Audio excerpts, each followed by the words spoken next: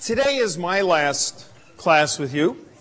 Oh, I'm sorry too. You're, you guys are a lot of fun. This has actually been the most interactive 701 I've ever had. And you know, usually there are a couple of people who perk up and say things, but you guys are great because all sorts of people are willing to contribute. So I've had a wonderful time. Um, and, and it certainly seems like you guys have learned a lot. What, what I'd like to do for my last lecture is pick up again a little bit like I did with genomics and try to give you a sense of where things are going. I always like doing this because I get to talk about things that are in none of the textbooks, uh, that, uh, well, I mean, that's, that's just stuff that many, many people working in the field don't necessarily know. And that's what's so much fun about teaching introductory biology is because it only takes a semester for you guys to get up to the point of at least being able to understand what's getting done on the cutting edge. Even if you might not yet be able to go off and, and practice it, you might need a little more uh, you know, experience for that. But you know, you'd be surprised, not that much more. Take take maybe Project Lab, and you'll be able to start doing it already. Um, it's it's really wonderful that it's possible to grasp what's going on, and in many ways, you guys may have an advantage in grasping what's going on because as I've already hinted, biology is undergoing this remarkable transformation from, from being a purely laboratory based science where each individual works on his or her own project to being a, an information based science that involves the integration of vast amounts of data across the whole world and trying to learn things from this tremendous data set. And in that sense, I think the new students coming into the field have a distinct advantage over those who have been in it. And certainly the students who know mathematical and physical and chemical and other sorts of things and aren't scared to write computer code when they need to write computer code have a really great advantage. So anyway, all that by way of introduction. I want to talk about two subjects today of great interest to me. One is DNA variation and one is RNA variation. The variation in DNA sequence uh, between individuals within a population, in particular our population, and the other is RNA variation, the variation in RNA expression between different cell types, different tissues. And the work I'm going to talk about today is work that, that I and my colleagues have all been involved in, and it's stuff I know and love. So feel free to ask questions about it. Um, I may know the answers, but um, what's reasonably fun about these lectures is if I don't know the answers, it's probably the case that the answers aren't known. So that's, that's good fun because it's stuff I really do know well and, and I love. So anyway, here's some DNA sequence. Um, it's pretty boring. Uh, this is a chunk of sequence from, let's say, the human genome. How much does this differ between any two individuals? If I were to sequence any two chromosomes, any two copies of the chromosome from an individual in this class or two individuals on this planet, how much would they differ? The answer is that much. That's the average amount of difference between any two people on this planet.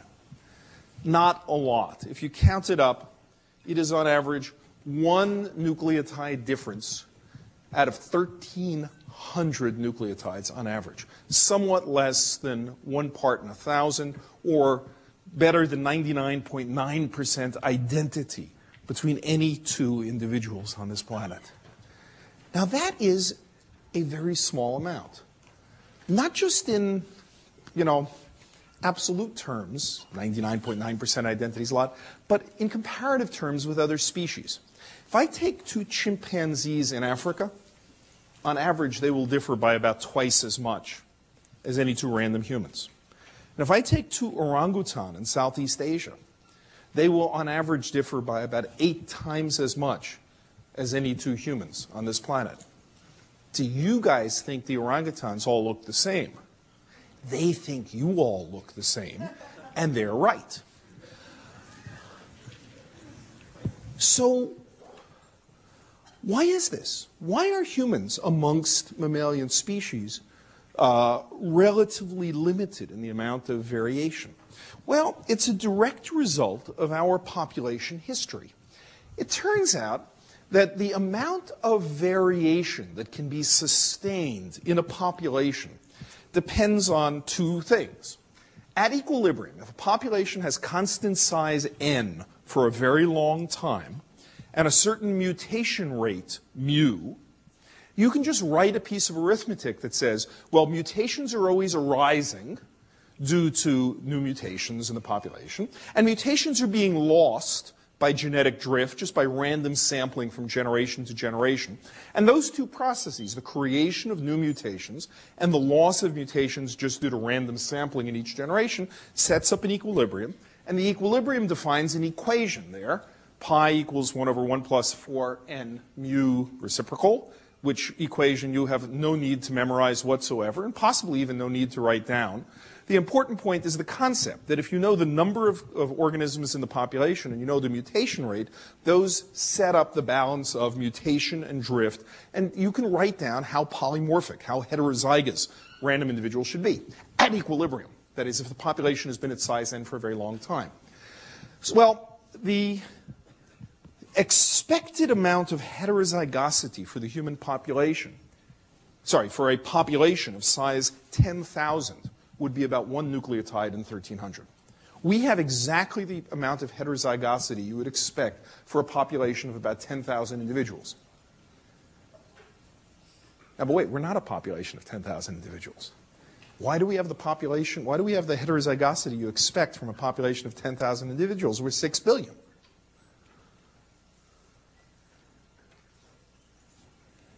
What is it must, it's a reflection of our history. Because remember I said that was the statement about what the population heterozygosity should be at equilibrium. We haven't been 6 billion people for a long, you know, except very recently.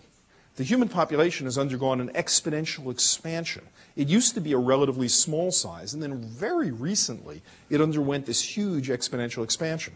If you actually write down the, the equations, the amount of variation in our population was determined by that constant size for a very long time, and then a rapid exponential expansion that's basically taken place in a mere 3,000 generations, it's much too rapid to have any effect on the real variation in our population.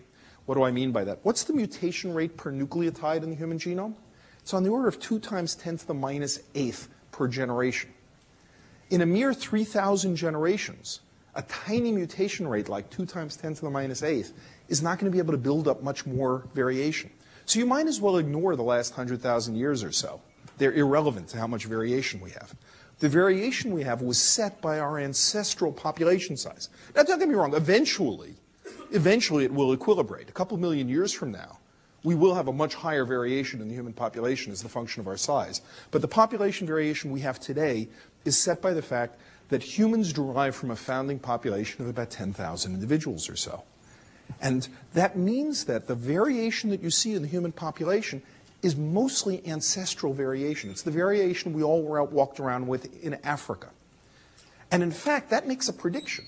That would say that if most of the variation in the human population is from the ancestral African founding population, then if I go to any two villages around this world, in Japan or in Sweden or in Nigeria, the variants that I see will largely be identical.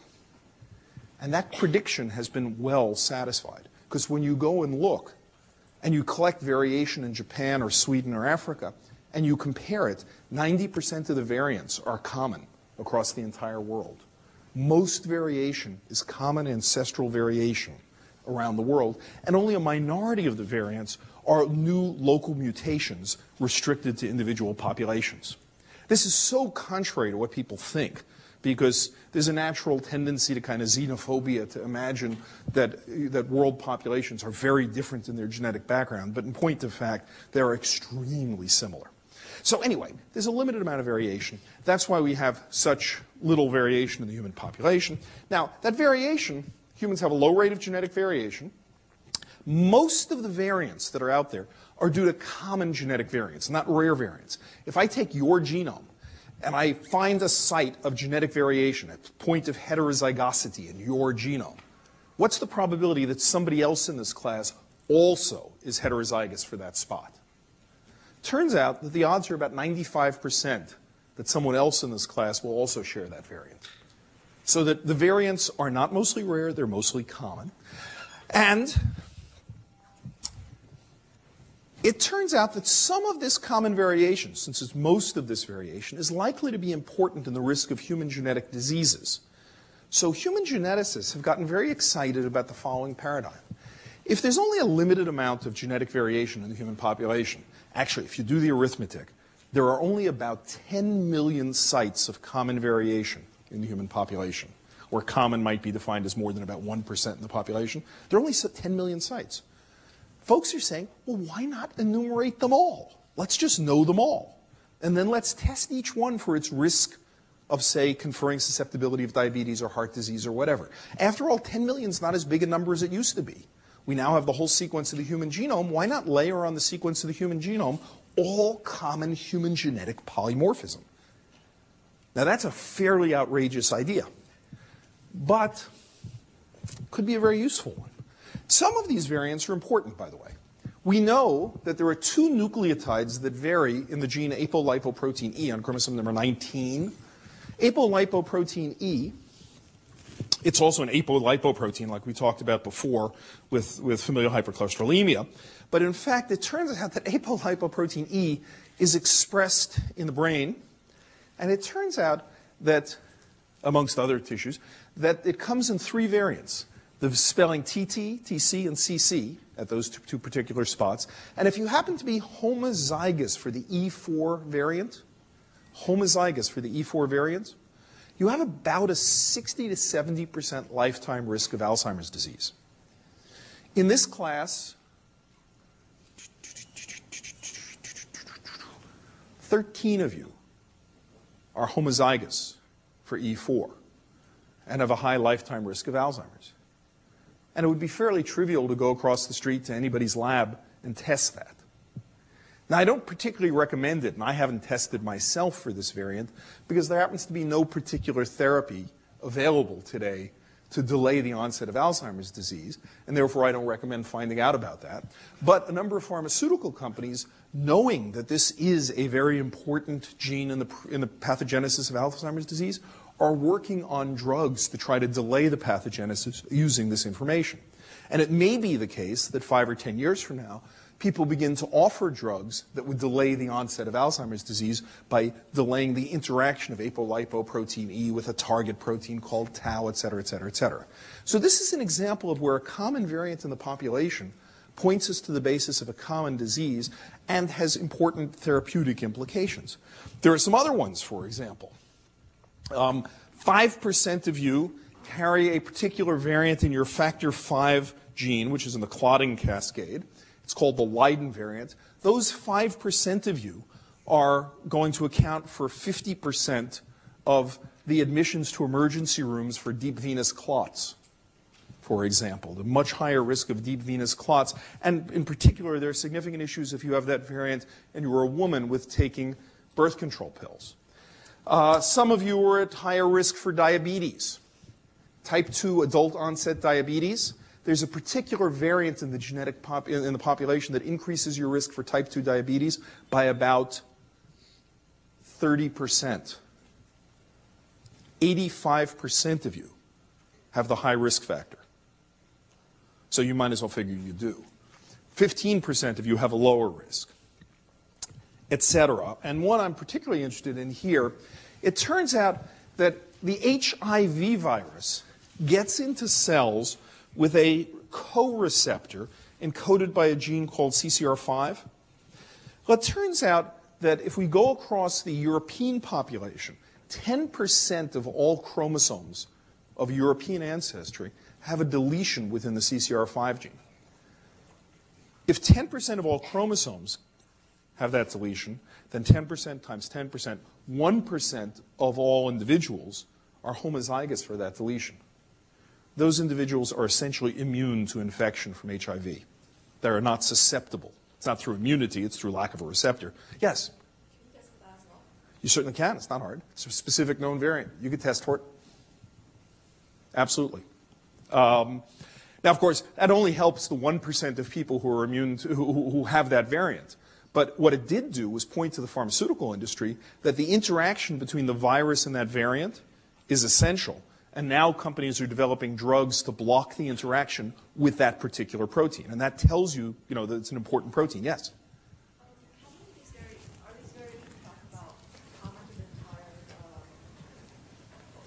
Over the whole world?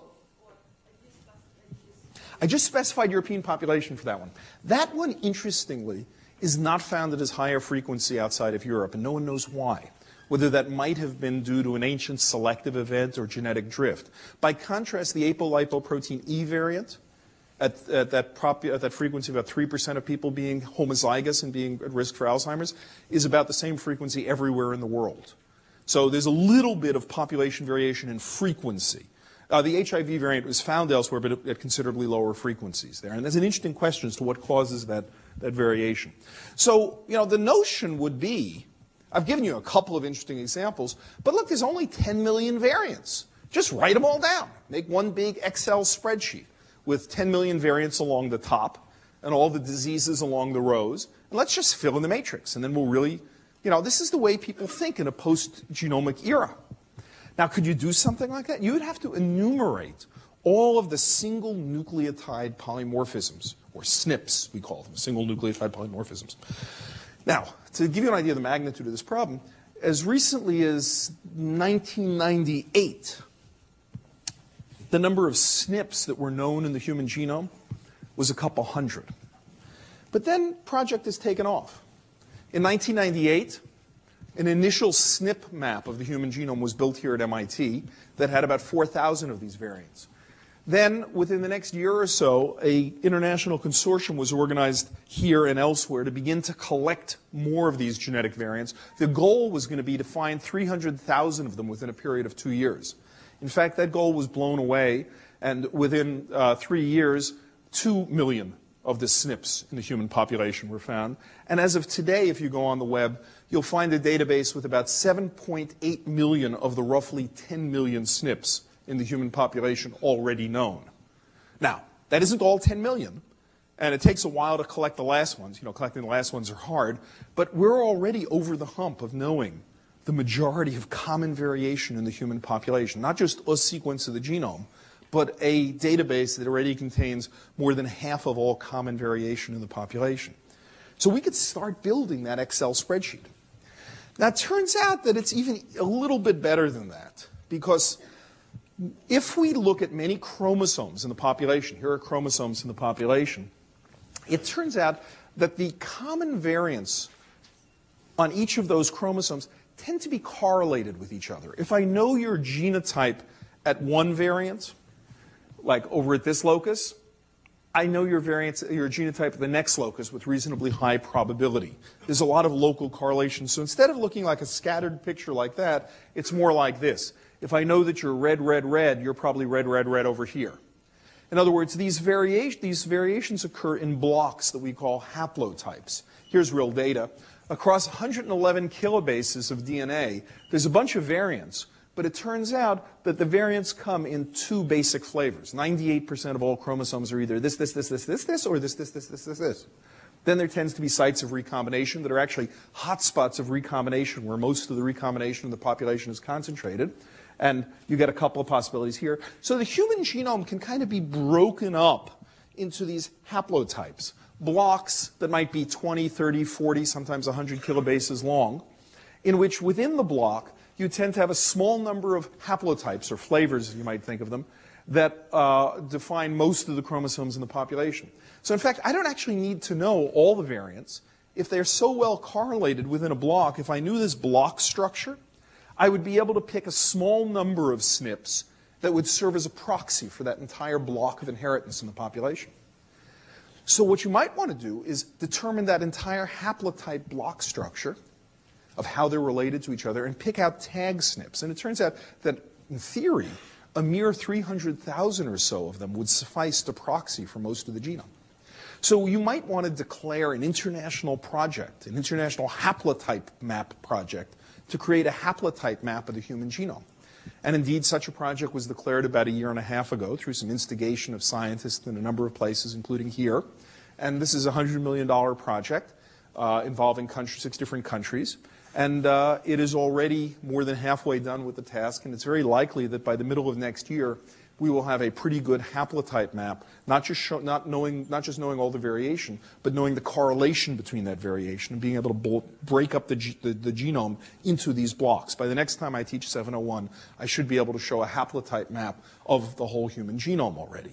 That will allow you to start undertaking systematic studies of inheritance for different diseases across populations. And in fact, people are already doing things like that. Here's an example of, of a study done here at MIT like this, where to study inflammatory bowel disease, uh, there was evidence that there might be a particular region of the genome that contained it, and haplotypes were determined across this, and blah, blah, blah, blah, blah, blah, blah. And this red haplotype here turns out to confer high risk, about a two and a half higher, two, two and a half fold higher risk of inflammatory bowel disease. And it sits over some genes involved in the immune, involved in immune response, certain cytokine genes and all that.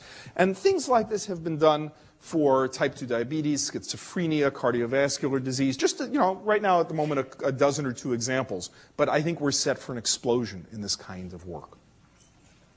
In addition, you can use this information to do things beyond medical genetics. You can use it for history and anthropology as well. Turns out, rather interestingly, that since the human population originated in Africa and spread out from Africa all the way around the world, arriving at different parts, different places and different times, you can trace those migrations by virtue of rare genetic variants that arose along the way and let you, like a trail of breadcrumbs, see the migrations.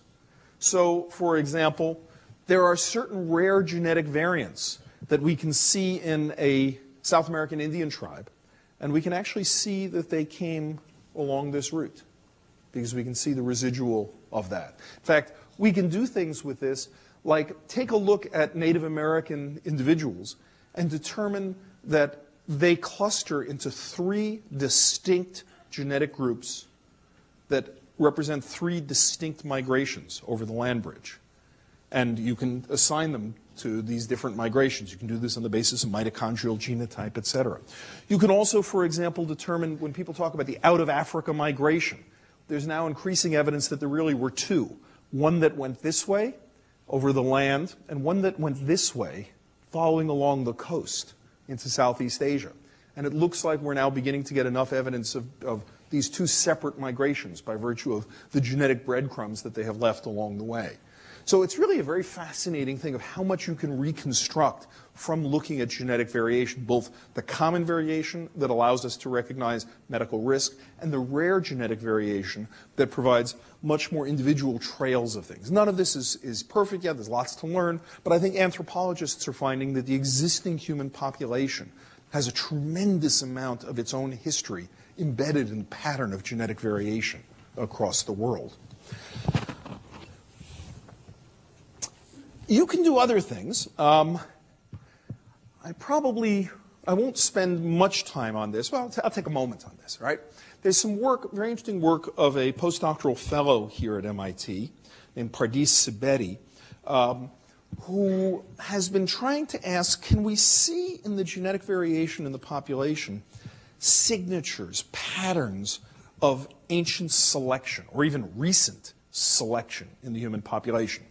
Now, hang on to your seats because this will get just slightly tricky, but hang on. It's only a couple of slides. Here was her idea.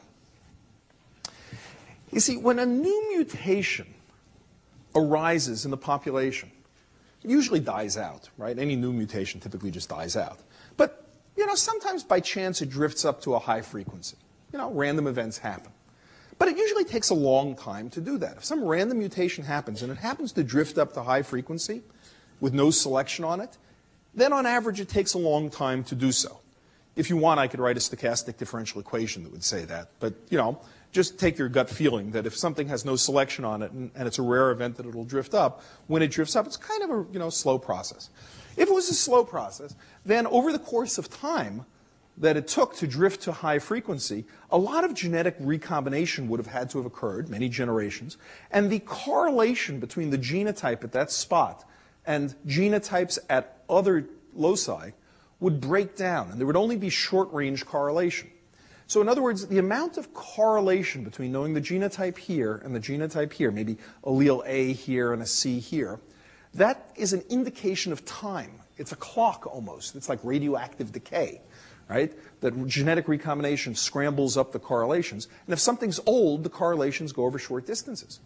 But suppose that something happened, some mutation happened that was very advantageous. Then it would have risen to high frequency quickly because it was under selection. If it did so quickly, then the long range correlations would not have had time to break down, and we'd have a smoking gun. The smoking gun would be that there would be a long range correlation around that locus, much longer than you would expect across the genome. Things even out at this distance would show correlation with that, indicating that this was a recent event. So we just measure across the genome and look for this telltale sign of common variants that have very long range correlation that indicate that they're very recent. So a plot of the allele frequency, common variants with, with long, sorry, if something has a common high frequency and long range correlation, you wouldn't expect that by chance. So something that was common in its frequency and had long range correlation would be a signature of positive selection. So anyway, Pardis had this idea and she tried it out with some interesting mutations, some mutations that confer resistance to malaria. One, one well-known mutation causing resistance to malaria called G6PD, and another one that she herself had proposed as a mutation causing resistance to malaria, variants in the CD40 ligand gene. And to make a long story short, both the known and her newly uh, predicted variant showed this telltale property of having a high frequency and very long range correlation. Well, that's very interesting because she was able to show that each of these mutations probably were the result of positive selection. But what you could do in principle is test every variant in the human genome this way. Take any variant, look at its frequency, and compare it to the long range correlation around it. And test every single variant in the human population to see which ones might be the result of long range correlation. Now, when she proposed this, was about a year, year and a half ago or two years ago, this was a pretty nutty idea because you would need all the variants in the human population and you would need all this correlation information. But in fact, as I say, that information is almost upon us. And I believe that this experiment, this analysis to look for all, all strong positive selection in the human genome, will in fact be done in the course of the next 12 months. So I'm hoping by next year I can actually report on a genome-wide search for all the signatures of positive selection uh, now, this doesn't detect all positive selection. It will detect sufficiently strong positive selection going back pretty much only over the last 10,000 years. When you do the arithmetic, that's how much power you have. Of course, 10,000 years has been a pretty interesting time for the human population, right? It's been, you know, the time of civilization and population density and infectious diseases and all that. And I think we'll have a, an interesting window into the select and change in diet all of that should come out of something like this. So there's a lot of really cool information in DNA variation to be had. All right, that's one half. The other half of what I would like to talk about is totally different. It's not about inherited DNA variation. It's about somatic differences between tissues in RNA variation. So let's shift gears. RNA variation. Let me start by giving you a, an example here. These are cells from two different patients with acute leukemia. Can you spot the difference between these?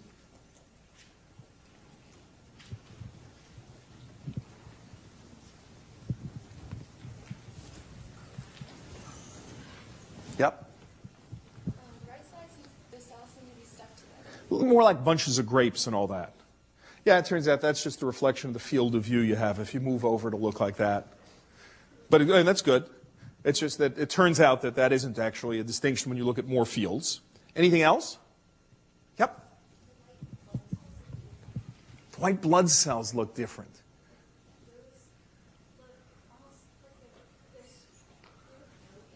They look broken. There's more of them in this field of view. But you better look at another 100 fields of view, and it turns out that's not either.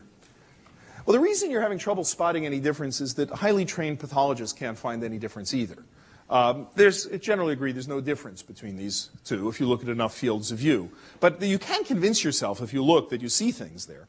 But these actually are two very different kinds of leukemia.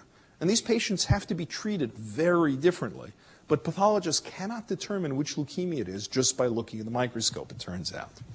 Um, this is the work of this man, Sidney Farber, namesake of the Dana-Farber Cancer Institute here in Boston, who in the 1950s began noticing that patients with leukemias, some of them seemed different in the way they responded to a certain treatment.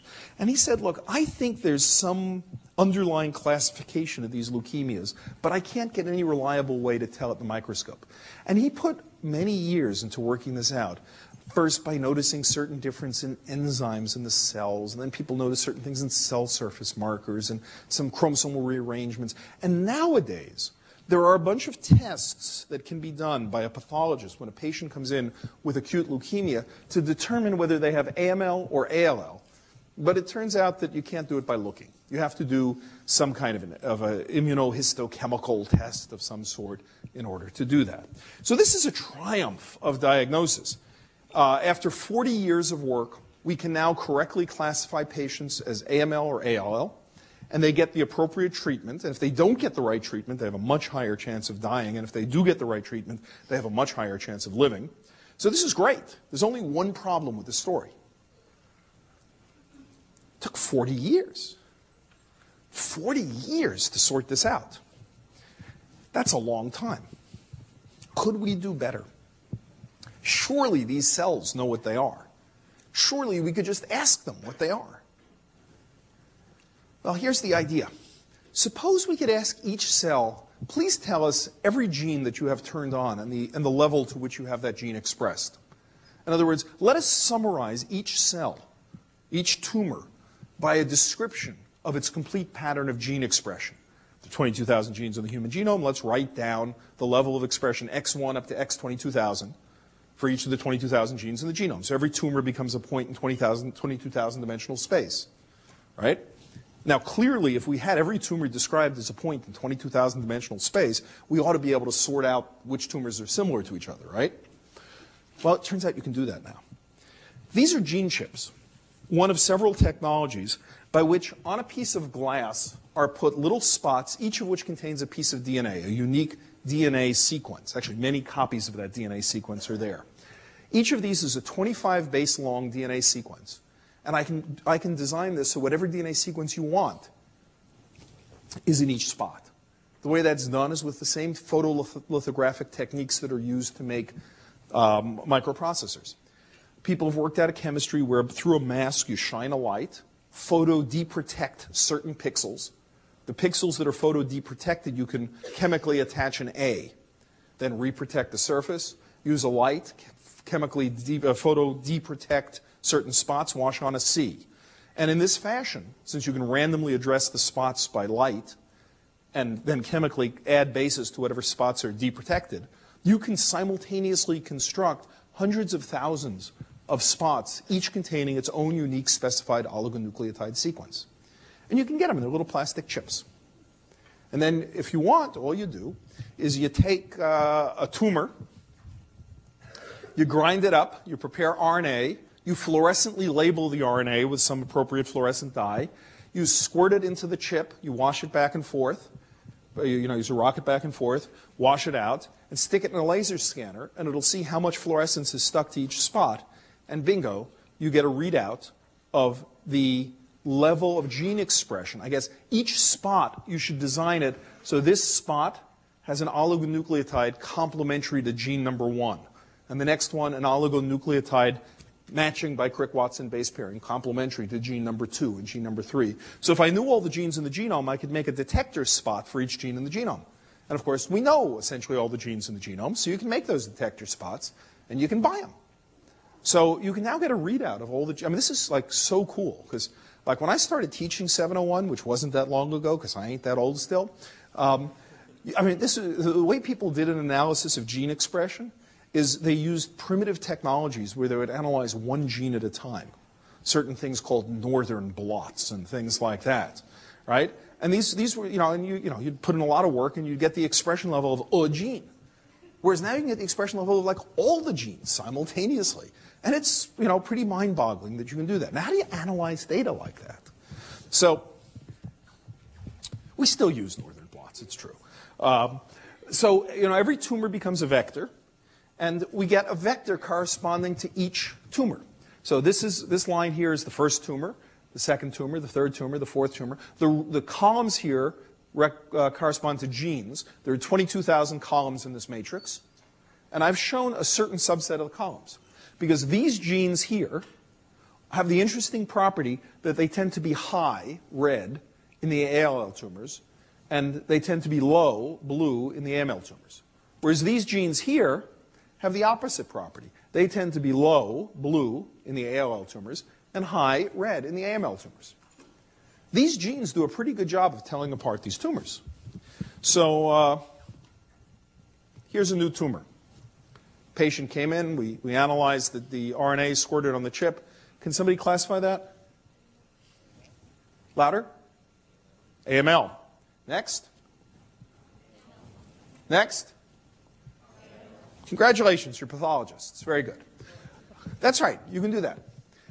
It works. And in fact, in the study that was done, it was published about this, the computer was able to get it right 100% of the time. Not bad. So now you say, wait, wait, wait, wait, but you're cheating. You're giving it a whole bunch of knowns. Once I have a whole bunch of knowns, it's not so hard to classify a new tumor. What Sidney Farber did was he discovered in the first place that there existed two subtypes. Surely that's harder than classifying when you're given a bunch of knowns. And that's true. So suppose uh, instead I didn't tell you in advance which were AMLs and which were ALLs, and I just gave you vectors corresponding to a large number of tumors. Do you think you would be able to sort out that they actually fell into two clusters?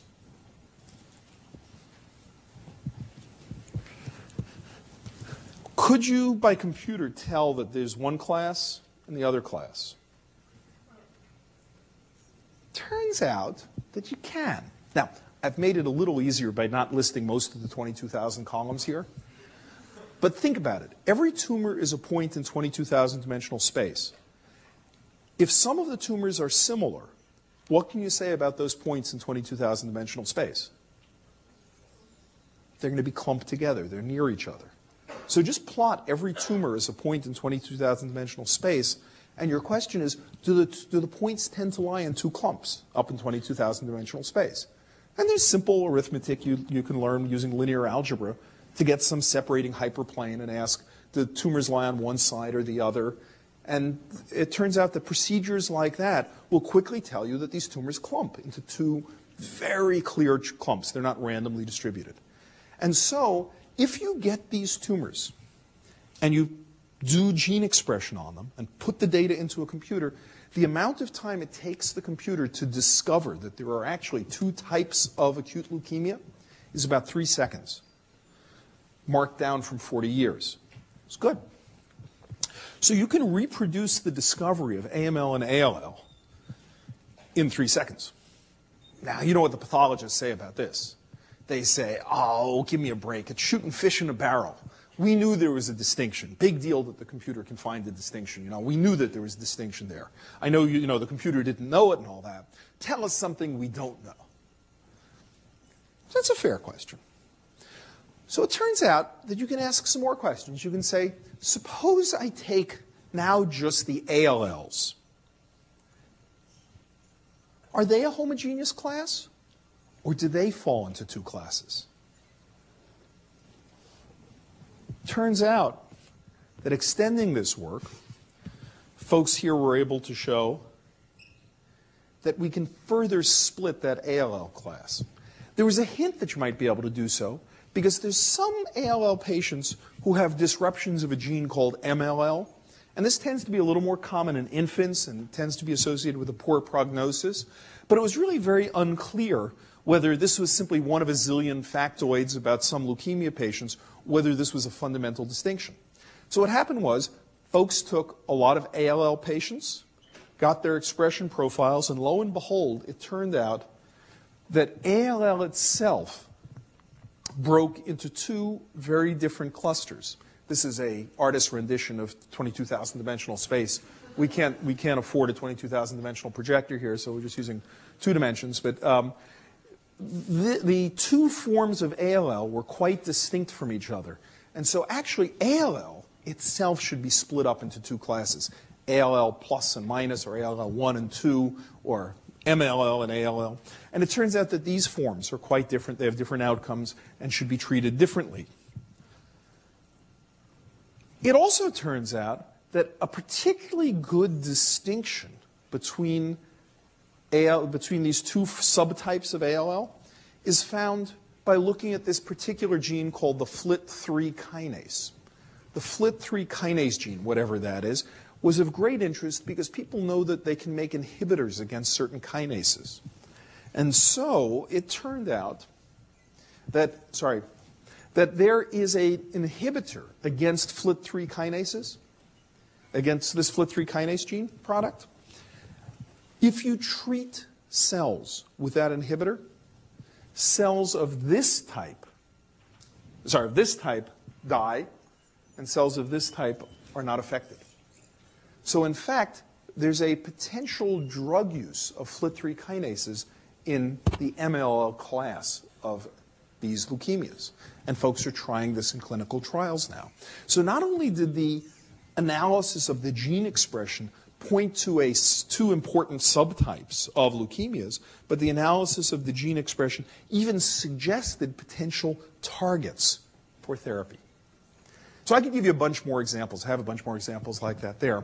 Um, they are examples of taking lymphomas and showing that they can be split into two different categories. Examples of taking breast cancers into several categories, colon cancers. Um, basically, what's going on right now is an attempt to reclassify cancers based not on what they look like in the microscope, and based not on what they, uh, you know, what, what organ in the body they affect, but based on molecularly what their description is. Because the molecular description, as Bob talked to you about with CML and with Gleevec, turns out to be a tremendously powerful way of classifying cancers because you're able to see what is the molecular defect and can make a molecular targeted therapy.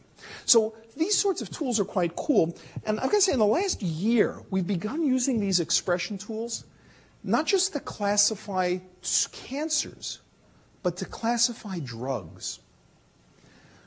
We begun an interesting and somewhat crazy project to take all the FDA approved drugs, put them onto cell types, and see what they do. That is, get a signature, a fingerprint, a gene expression description of the action of a drug. And then we hope, here's the nutty idea, that we could look up in the computer which drugs do which things and might be useful for which diseases. Because we'd put the diseases and the drugs on an equal footing. All of them would be described in terms of their gene expression patterns. So I'll tell you one interesting example. Okay? This is an interesting enough example, I don't even have slides for it yet turns out that these patients with ALL that I've been talking about, some of the patients with ALL will respond to the drug dexamethasone. Some won't. If you take patients who respond to dexamethasone and patients who are resistant to dexamethasone, and you get their gene expression patterns, you can ask, are there some genes that explain the difference? and you can get a certain gene signature, a list of, say, a dozen or so genes that do a pretty good job of classifying who's sensitive and who's resistant. Then you can go to this database I was telling you about of the action of many drugs and say, do we see any drugs whose effect would be to produce a signature of sensitivity? If we found a drug X which when we put it on cells turned on those genes that, that correlate with being sensitive to dexamethasone, you could hallucinate the following really happy possibility. That when you added that drug together with dexamethasone, you might be able to treat resistant patients because that drug could make them sensitive to dexamethasone. And that you could find that drug just by looking it up in a computer database. So we tried it and we hit a drug. There was a certain drug that came up in the screen. Yes? And we, you know, that's very much in the idea too. We found a drug that produced the signature of sensitivity and tested it in vitro. In vitro, if you take cells that are resistant and you add dexamethasone, nothing happens because they're resistant. If you add drug X, nothing happens. But if you add both, drug X plus dexamethasone, the cells drop dead.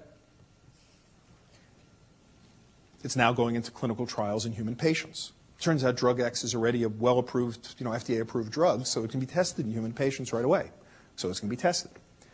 So the gene expression pattern was able to tell us to use a drug which actually had nothing to do with cancer uses in a cancer setting because it might do something helpful. Now, look, what's the point of all this?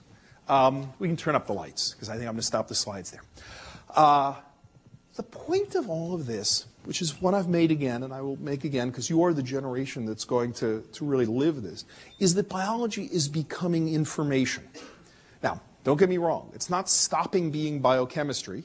It's going to be biochemistry. It's stop, stopping being molecular biology. It's not stopping any of the things it was before. But it is also becoming information.